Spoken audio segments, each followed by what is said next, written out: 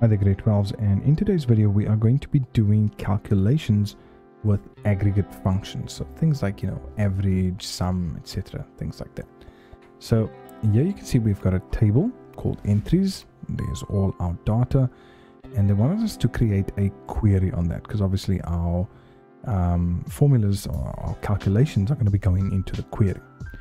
So we're going to go to design view and this is where we're going to do everything that we need to. So I'm going to be going through a few things. So say to us here, they want us to create a query based on the entries table. Um, we've got school and we've got price. that's fine. Then they want us to right click on, well, to go into design view, which we've done. And now we're going to go over to this side, which is show hide. We've got a property sheet, parameters, and totals. I want you to have a look at this. We've got a few rows here. We've got field, table, sort, show, and criteria.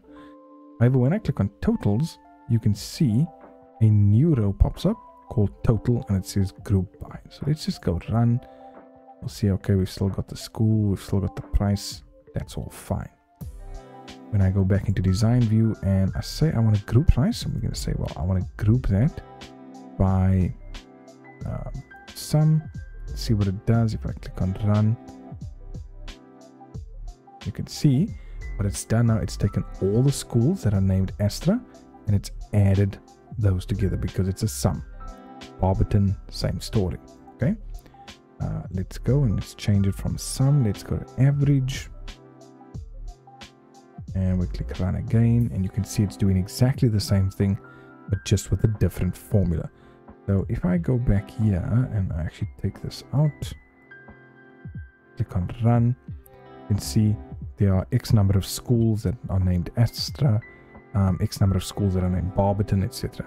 But when I use uh, any of these aggregated formulas, whether it's count, whether it's max, uh, it'll group all of those together and then give me the figure over here. So remember now, it's design view and we click on totals and then we can choose what we want. And it's as simple as that.